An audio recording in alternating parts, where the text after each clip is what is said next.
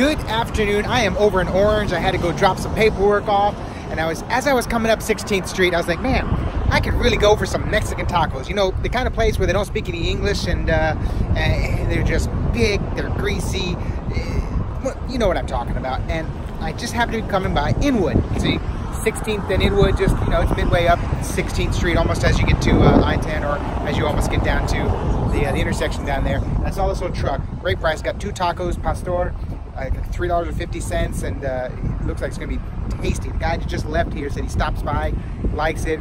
Prices are great. It smells really good. So if you get a chance, come by right on 16th Street, food truck. Take a look around.